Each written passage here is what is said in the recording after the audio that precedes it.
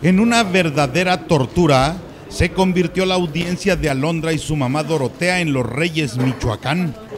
La niña de apenas 12 años estuvo encerrada en una calurosa oficina con otros 10 adultos, entre ellos la juez, por más de 25 horas en dos días cuyo único propósito era el reencuentro con su madre después de 8 años. Genial, genial, la mejor respuesta. Química instantánea.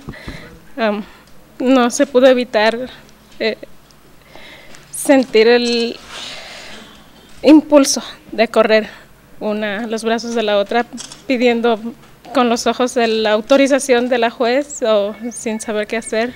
Pero el abrazo no ha sido posible. La juez aplazó la audiencia hasta que lleguen los resultados de las pruebas de ADN que se les practicaron apenas el martes por la noche. No hay nada definido todavía para mí es un triunfo temporal. Por unos días temporal, pero estoy segura, mi corazón me lo dice y Dios me deja saber que me voy con mi hija de la mano.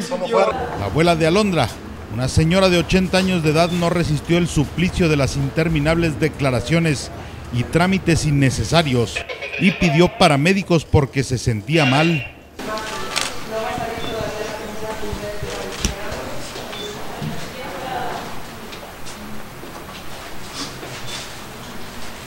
Cansancio, la señora está enferma, eh, está enferma del corazón, es muchas horas, fue ayer todo el día, ella está cansada. La juez Cintia Mercado se está cuidando de no volver a cometer el bochornoso episodio. En el caso de la otra Alondra, rechazó el pedido de las pruebas de ADN, pero ahora sí permitió este procedimiento. Aunque los familiares le pidieron que no necesitaban la prueba, ella no quiere arriesgarse. Ellos no están de acuerdo en que se lleve a cabo una prueba del ADN, más sin embargo, la, fiscal adscrita lo, lo solicitó para el efecto de que se tuviera certeza. Pero en cuanto a la identidad de la menor, está establecida por el reconocimiento que están haciendo. Informa para Cuasar TV, Eliseo Caballero Ramírez.